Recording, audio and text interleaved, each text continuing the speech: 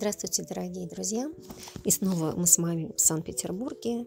И сегодня мы опять заглянем в стены Академии имени Штиглица.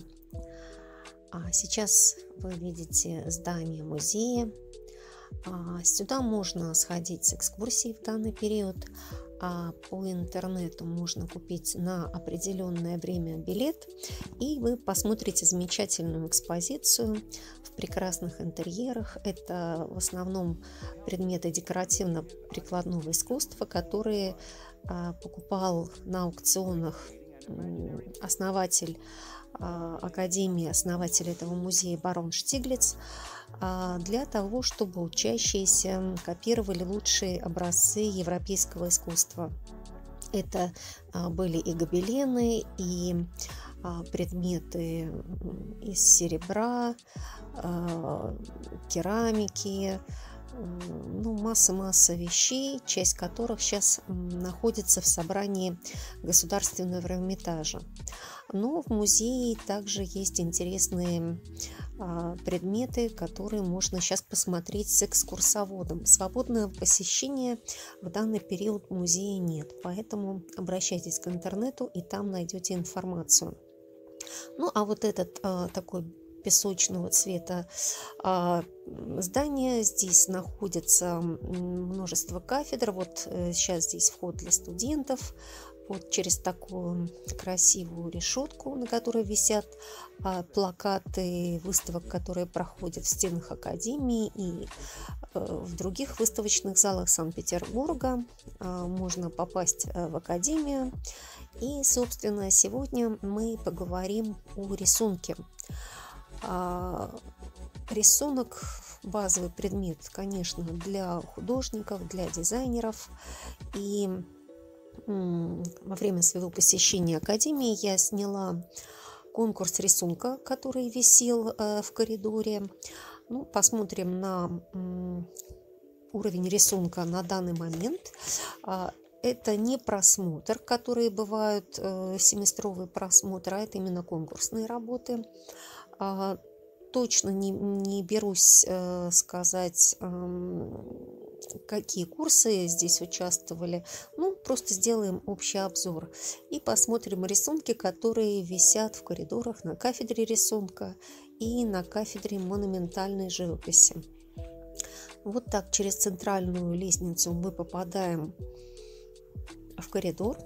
А вот э, это фойе кабинета ректора. И на стенах, начиная от Мисмахера, э, мы можем видеть ректоров Академии имени Штиглица. Также стоят гипсовые слипки, которых достаточно много. А, ну и вот в этом следующем фойе проходил конкурс рисунка. А, сейчас уже объявлены победители, которые можно даже на сайте посмотреть. Ну, просто у меня было немного времени, и я сняла рисунки, которые были представлены на конкурс. И давайте посмотрим. Как вы видите, рисунки а, в различных техниках. Это и карандаш, и уголь, и сангина, и соус, и были такие даже коллажного плана работы. А, достаточно любопытно было на все на это взглянуть. Но уровень рисунка достаточно разный. Могу ошибиться, но мне показалось, что это работы все-таки первых курсов. Хотя и не уверена, кафедра тоже не обозначена, поскольку, а, видимо, условие конкурса был просто номер участника, и, собственно, вот эти номера можно видеть. И даже не могу сказать, кто, собственно, стал победителем в данном конкурсе. А, ну, сняла исключительно из таких целей для обучения. Возможно, кто-то собирается готовиться к уху, и он может посмотреть, собственно, какого плана рисунки делают студенты в мухе. Конечно, это, я думаю, и разные кафедры и разные преподаватели. И, возможно, даже а, ну, кто-то можно сказать, серьезно начинается обучаться рисунку уже в мухе, а, ой, по старой памяти называю мухой, э, поскольку когда-то она так называлась, сейчас, конечно, это Академия Штиглица. А, кто-то ходил на подкурсы, кто-то, возможно, вообще заканчивал художественное училище, и, конечно, это все дает а, различный стартовый уровень, так скажем, которым уже владеет Сначала абитуриент, а потом и студент. Вот на этот рисунок я обратила внимание как на достаточно крепкий, такой уверенный рисунок. Потому что есть рисуночки совсем-совсем слабые, но конкурс хорош тем, что именно ты можешь и других посмотреть, и себя показать, и как-то, конечно же, это помогает расти. Вот такая другая манера – достаточно тонкая в рисунке. Это карандаш, кажется, с сангиной. Ну, вот э, любят уголь студенты. Но уголь э, прессованный или рисовальный, это вот сразу такой рисунок становится более э, черный в прямом смысле. Все-таки графит, он такой серебристый создает, да, э, общий тон рисунка, а уголь в этом плане гораздо экспрессивней. Конечно, часто на манеру э, ученика влияет манера студента. Вот обратите, вот такая манера, мягкая, достаточно работой с формой, где мы не видим такого проявленного конструктива, когда там все скулы, желваки играют. И вот другой подход, где явно учили человека все вот так несколько утрировать даже какие-то мускулы. Ну да, есть такой подход, есть такой подход.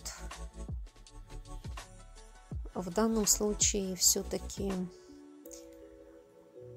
мне кажется, надо смотреть на результат.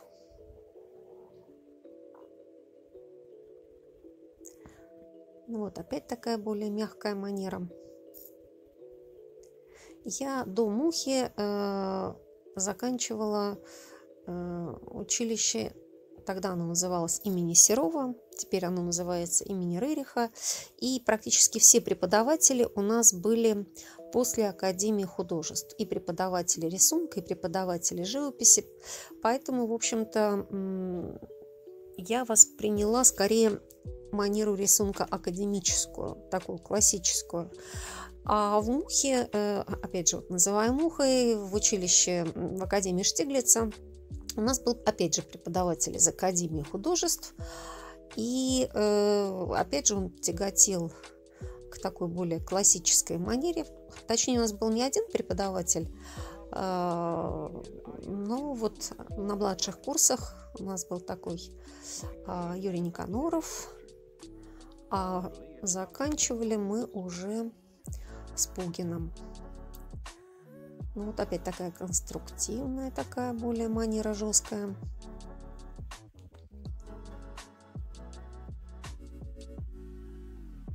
А вот такие даже какие-то коллажные вставки. Ну, кстати, такой любопытный рисунок.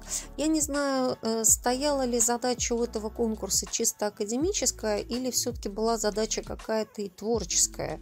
Вот здесь э, сложно понять.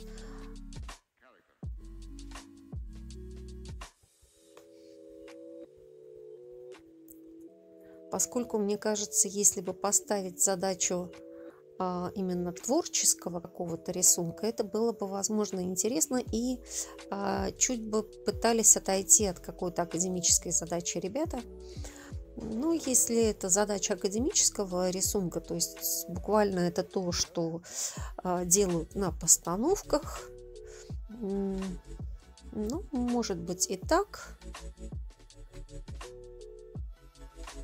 Но, в принципе, это уже не совсем самостоятельная работа. Мне кажется, для конкурса неплохо бы делать самостоятельные рисунки. А если это учебная постановка, то здесь может править и преподаватель, и ну, то есть это уже такая работа, я бы сказала, совместная преподавателя и ученика. То есть, ну, такой учебный процесс идет, который, конечно же, включает в себя пояснения, корректировки.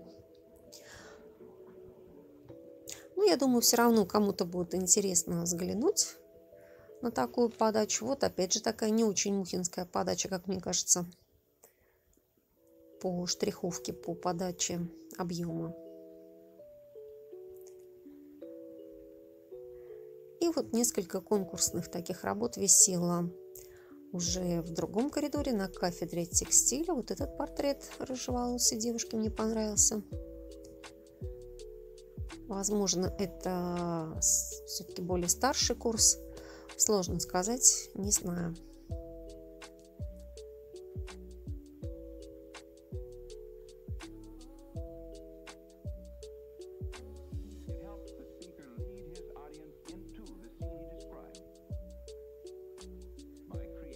Вот еще два неплохих портрета.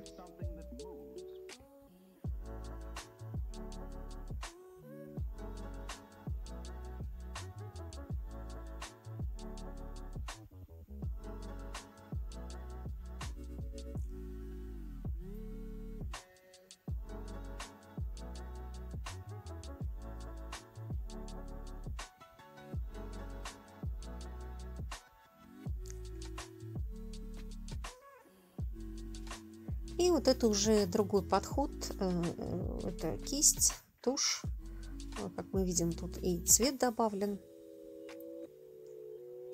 И интерьерные зарисовки.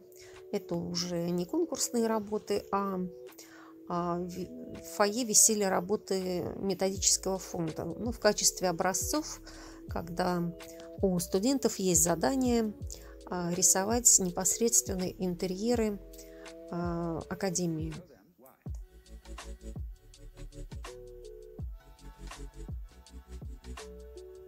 Видим, стоят а, гипсы.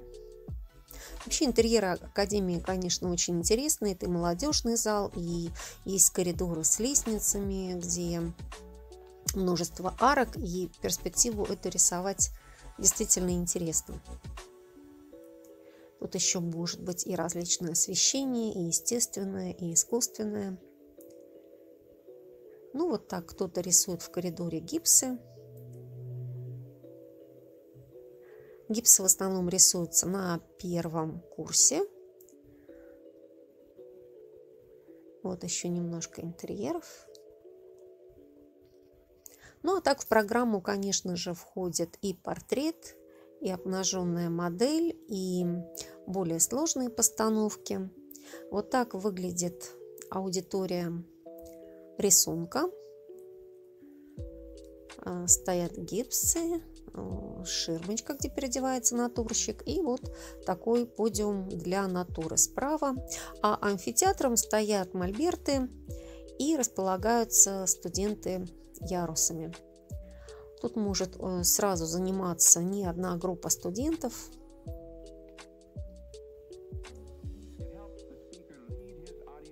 И одновременно могут даже э, быть студенты с различных, а, с различных кафедр. Так тоже бывает.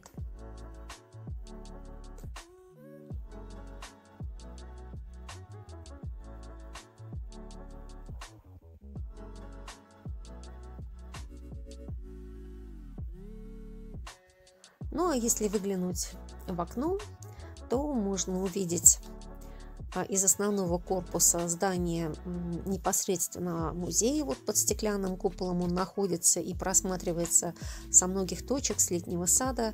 А вдалеке шпиль инженерного замка, там виден массив деревьев а, Михайловского сада.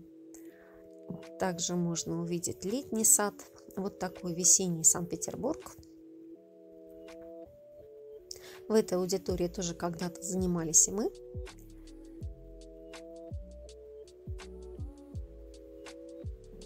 Немножко, конечно, такие ностальгические чувства охватывают, когда снова возвращаешься туда, где прошли студенческие годы. А это рисунки уже кафедры монументальной живописи, которые также висят а, в коридоре. Это, видимо, тоже работа из методического фонда. Вот монументалисты учатся расписывать и потолки, поскольку это все относится к монументальной а, живописи. И, конечно, у монументалистов а, формат а, рисунков а, и вообще работ, а, конечно, больше нежели стандартные работы других кафедр, поскольку ну, тут должен быть и глаз, и рука поставлены на более какие-то масштабные вещи, соответственно, и масштаб работ а, самих рисунков, он другой. Как мы видим, рисунки тут больше метра. В общем-то, такие рисунки, кроме монументалистов, а мало кто еще в Мухе делает. Ну, также есть кафедра монументальной э, живописи, мастерская, вернее, монументальной живописи в Академии художеств имени Репина. И кто знаком а, с этой кафедрой или кто ходил на просмотре, то тоже видели достаточно высокий уровень рисунка и а, крупные рисунки, опять же, и модели, и портреты. Но манера мухи рисунка и манера Академии несколько отличается. И, в общем-то, сразу это можно заметить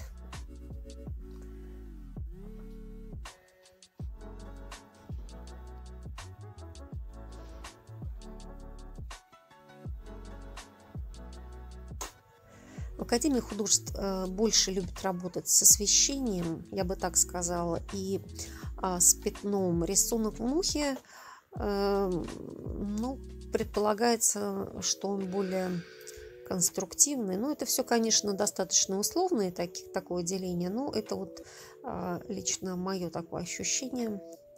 Ну вот мастерская со стеклянным таким куполом.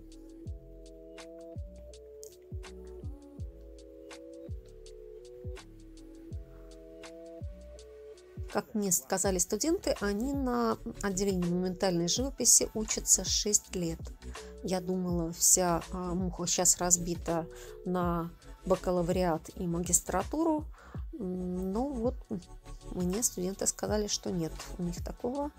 И они сохранили полный цикл обучения 6 лет.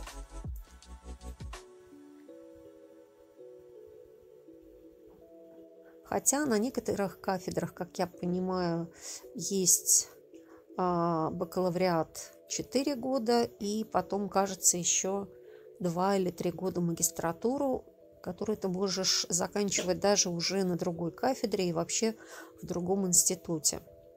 Это вот уже такая баллонская, как я понимаю, система или какие-то ее отголоски.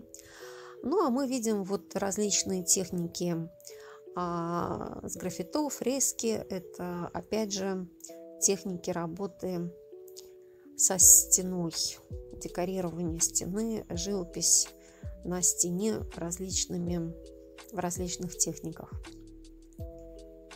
Ну, вот так выглядит коридор монументальной живописи Мольберты.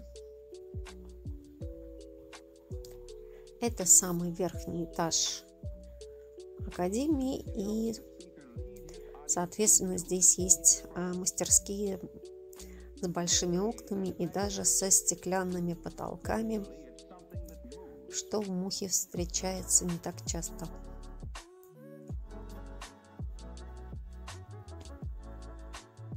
По материалу это, конечно, опять же и уголь, и сангина,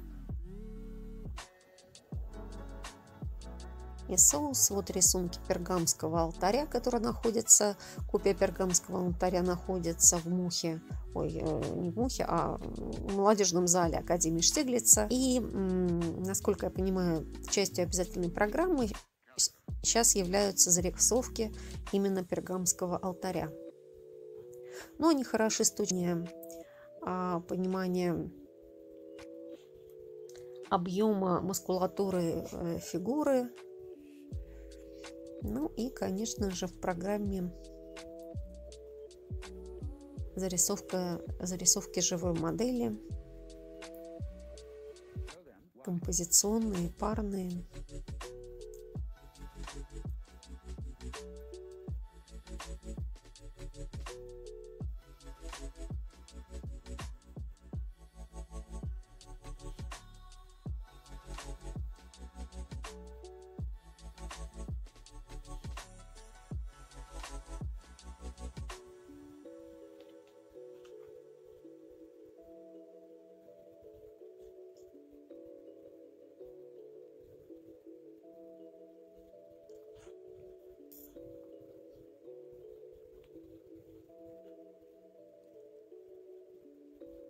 В Академии Штиглиса существуют подкурсы, подготовительные курсы а, по рисунку, живописи. На кафедрах есть а, подготовительные занятия по композиции, поскольку на каждой кафедре есть свои особенности а, к подходу в композиции, свои требования, свои задачи. И если вдруг такие планы поступать у кого-то есть, я очень советую вам заранее узнать и посмотреть какие-то образцы композиции, которые вообще делаются на экзаменах, чтобы понимать э, задачи, которые будут стоять, потому что иногда достаточно сложно бывает сориентироваться сразу.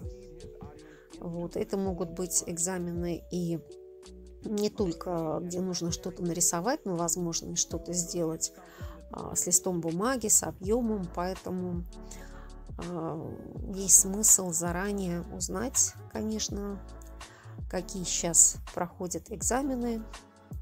И если у кого есть возможность подготовиться, то лишним это не будет. Лучше делать, может быть, это за год. Ну, а так выглядит аудитория живописи.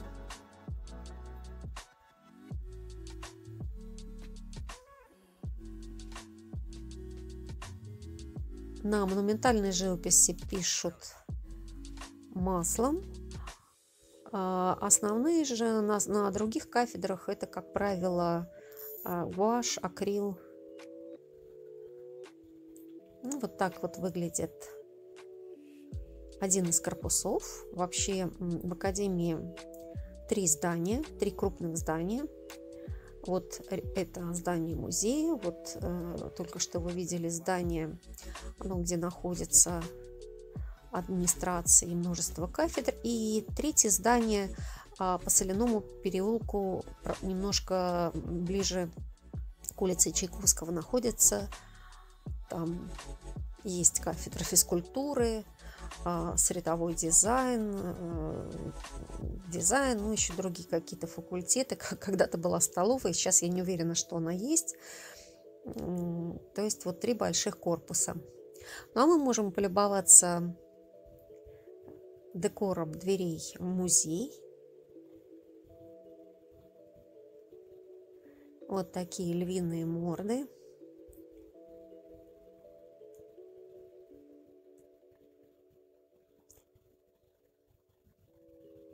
Напомню, что архитектором этого здания был Месмахер. Он же и возглавлял его. А так выглядит два парных фонаря с прекрасными пути. Вот вы видите, ручка отполированная. Сюда часто вставляют абитуриенты цветочки или кисточку, чтобы повезло на экзаменах. Трогают его за ножку. Спасибо за внимание. Надеюсь, видео покажется интересным и полезным для многих. Подписывайтесь на мои каналы. Всего доброго. Пока-пока.